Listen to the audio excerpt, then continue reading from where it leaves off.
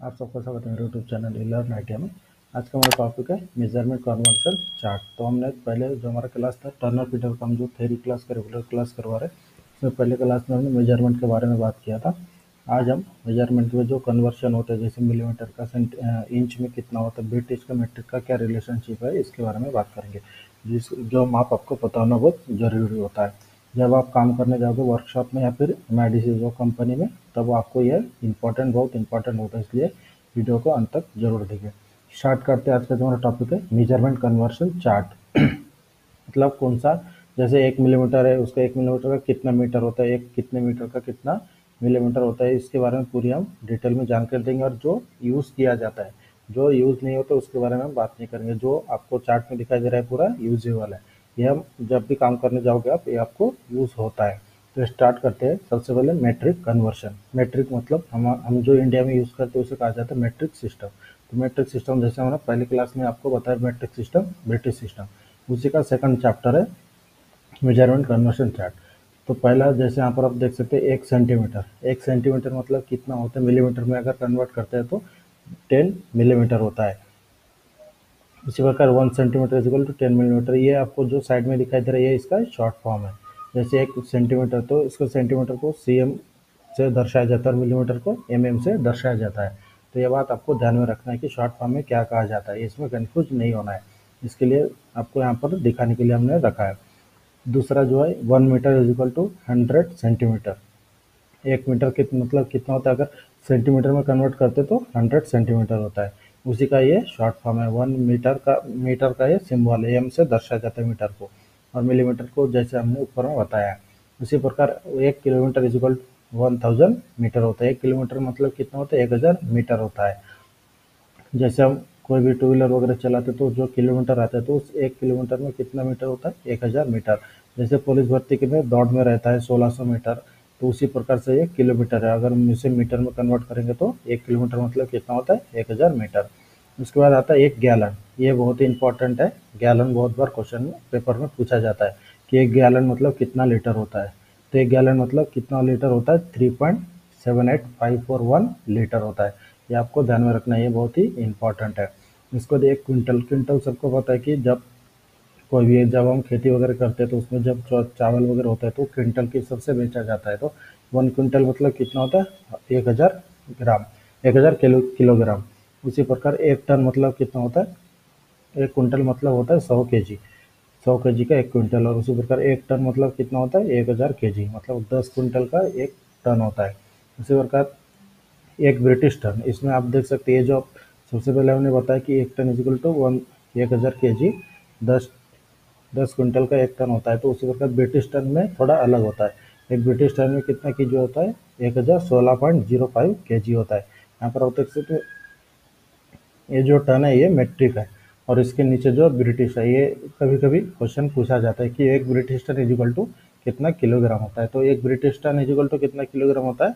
एक हज़ार सोलह पॉइंट ज़ीरो फाइव के जी उसी प्रकार नीचे जब आते हैं आप लंबाई की माप अगर देखना है तो ये जो आपको दिखा था स्टैंडर्ड कन्वर्शन है, लंबाई की माप। एक फुट मतलब कितना होता है? बारह इंच। बारह इंच मतलब एक फुट होता है। ये इसका शॉर्ट फॉर्म है, जैसे मैंने आपको बताया था। इसी प्रकार एक यार्ड ये भी आपको पता होना चाहिए। एक एड मतलब कितना होता है? तीन फुट। इसका शॉर्ट फॉर्म है। उसके बाद एक एड मतलब एक एड को अगर हम इंच में कन्वर्ट करते तो कितना इंच होता है? थर्टी सिक्स इंच अगर तीन फुट को भी इंच में कन्वर्ट करते हैं तो तीन फुट मतलब कितना होता है? थर्टी सिक्स इंच क्योंकि एक फुट में कितना इंच है? बारह इंच उसी प्रकार अगर तीन फुट में कितना इंच हो जाएगा मतलब थर्टी सिक्स इंच उसी प्रकार एक माइल माइल ये सबसे पुराना शब्द है, जो हमारे बुज़ुर्ग है, वो माइल के हिसाब से चलते थे पुराना सिस्टम है। तो एक माइल मतलब कितना होता है? सत्रह सौ सत्रह सौ साठ यार्ड इसके साइड में इसका शॉर्ट फॉर्म है। एक फीट का एफ़ टी लिखा जाता है यार्ड का वाई डी लिखा जाता है, एक माइल का एम आई लिखा जाता है। उसके जब नीचे हम आते हैं metric standard conversion metric standard conversion में ये बहुत ही इंपॉर्टेंट है। ये दोनों चार्ट आपको सबसे ज़्यादा इंपॉर्टेंट जब भी आप काम करने जाओगे तो इसी दोनों का सबसे ज़्यादा उपयोग किया जाता है। जैसे one millimetre is equal to zero point three nine nine three seven inch ये पूछा जाता है क्वेश्चन में, एक मिलीमीटर का कितना इंच होता है?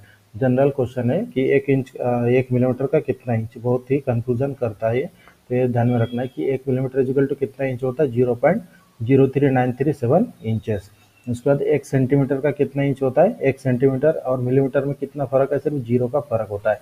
जैसे ऊपर में हमने आपको बताया था, एक सेंटीमीटर कितना? दस मिलीमीटर होता है उसी प्रकार।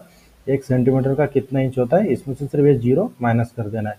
Zero point three nine three seven inches. ये बात ध्यान में रखना है।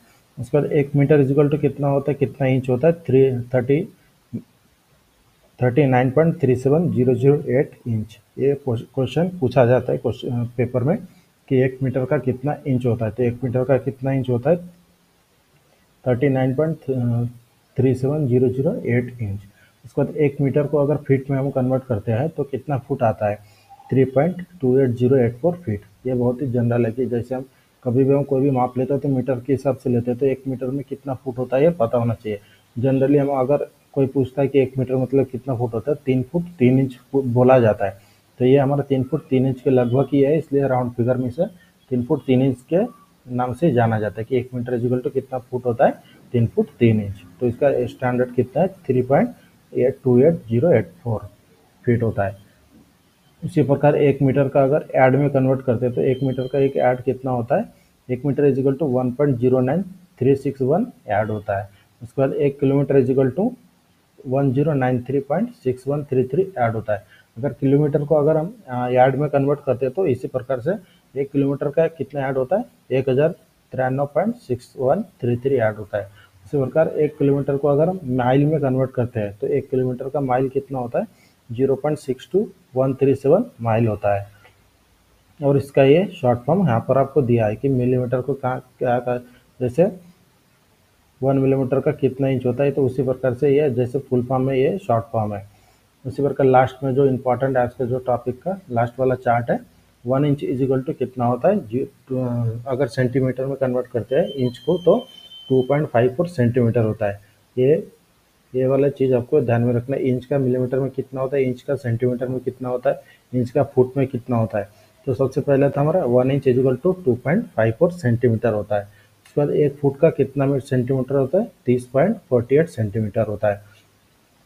उसी प्रकार एक ऐड का अगर सेंटीमीटर में हम कन्वर्ट करते हो, करते हैं तो एक yard is equal to nine point, ninety one point four four centimetre होता है। इसी प्रकार एक ऐड को अगर मीटर में हम कन्वर्ट करते हैं तो zero point nine one four four metre होता है। इसी प्रकार एक माइल को अगर मीटर में हम कन्वर्ट करते हैं तो एक माइल मतलब कितना मीटर होता है? सोलह सौ नौ point three four four metre होता है। इसी प्रकार one mile is equal to, अगर एक माइल को किलोमीटर में हम कन्वर्ट करते हैं तो one point six zero nine three four four kilometre होता है। तो ये सबसे इम्पोर्टेंट होता है हमारा जो लास्ट का दो दो चार्ट है, आज का टॉपिक का जो लास्ट में जो दो चार्ट था ये मिलीमीटर का इंच में, सेंटीमीटर का इंच में, उसके बाद इंच का सेंटीमीटर में, एक फुट का कितना सेंटीमीटर होता है, एक ऐड का सेंटीमीटर। तो ये जो जनरल क्वेश्चन हमारा जो पहला चैप्टर था मेज़रमेंट इस क्वेश्चन, इस जो हमारा चैप्टर इस क्वेश्चन में से, इस कन्वर्शन में से कम से कम एक दो क्वेश्चन पूछा जाता ही एक हंड्रेड परसेंट जो पेपर आपका थेरी का पेपर होगा, उसमें, इसमें से एक दो क्वेश्चन पूछा जाता है। ज़्यादातर एक मिलीमीटर का कितना इंच होता है, यही पूछा जाता है। या फिर एक मीटर का कितना इंच होता है। तो इस तरह से आज का जो हमारा टॉपिक था मेज़रमेंट का, जो कन्वर्शन टेबल था, जिसमें जो यूज़ जनरली हम यूज़ करते उसी के बारे में हमने आपको बात, पूरा समझा कर बताया है। और इसी तरह के रेगुलर क्लास के लिए हमारे चैनल को सब्सक्राइब करें शेयर करें और लाइक करना ना भूलें।